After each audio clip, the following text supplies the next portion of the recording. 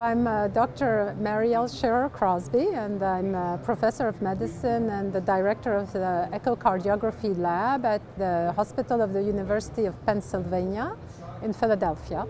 I'm very pleased to, uh, to talk to you about uh, our trial, uh, the STOP-CA trial, which I have uh, co-led with uh, my co-PI, Dr. Tom Neilan, from the Mass General Hospital in Boston. We were interested uh, in patients with cancer. Um, this is a, a, growing field, the cardio-oncology. There's many survivors of cancer, and so now we're worried about uh, the possibility of heart failure in these patients, especially in a population of patients who are treated with anthracyclines.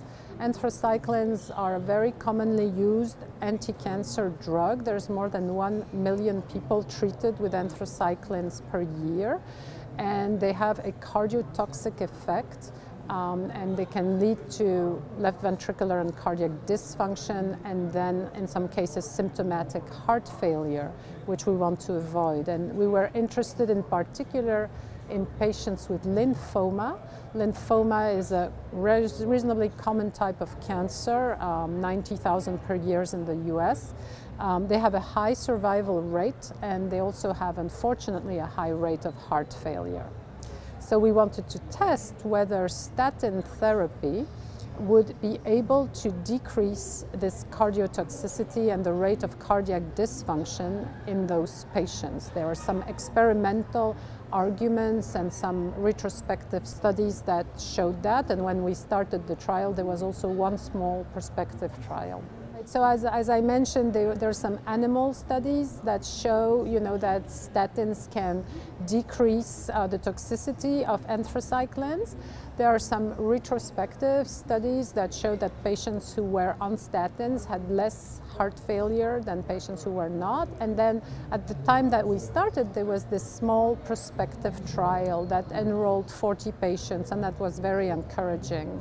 So we enrolled patients, uh, as I was mentioning, with uh, lymphoma, newly diagnosed lymphoma that were scheduled to be treated with anthracyclines. Um, and we uh, basically uh, were looking to see if those patients, when we, they were randomized to atorvastatin, 40 milligrams daily for a year, would uh, develop less cardiac dysfunction. And the way we defined cardiac dysfunction was a decrease of more than 10 points 10 points or more in the left ventricular ejection fraction to less than 55%.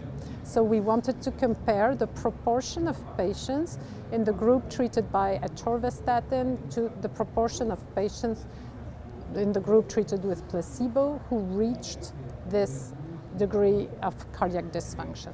The key findings was that the proportion of patients treated with atorvastatin who reached uh, the level of cardiac dysfunction that we were looking for was 9%, and in the placebo group there were 22% of patients who reached that point.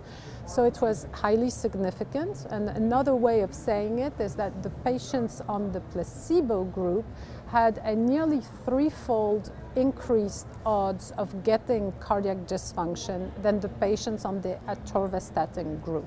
So we did a few more analysis in, in the subgroups. We, we had pre-specified subgroups that we wanted to analyze and we could say that women and older patients, patients who had more than, you know, were more than 52 years of age, which was our uh, median age, patients who had high doses of anthracycline, more than 250 milligram per square meter, or median dose was 300, so it was high, as we know in lymphoma, uh, and obese patients, they all benefited from atorvastatin, um, so that's the population that we really think can benefit from atorvastatin.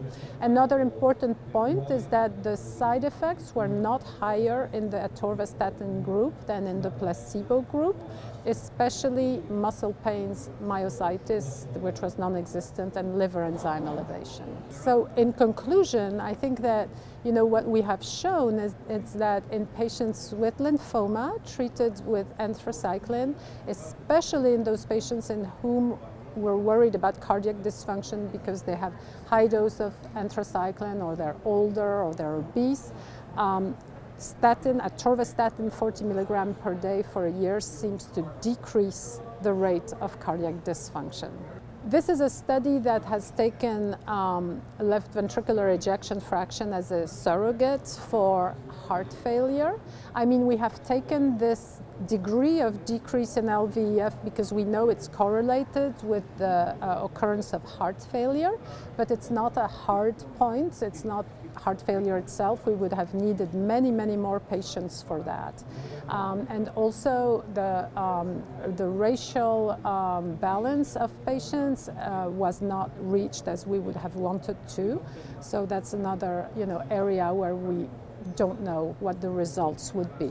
And we can only speak at this point of patients with lymphoma. We do not know if we can extrapolate to other cancers.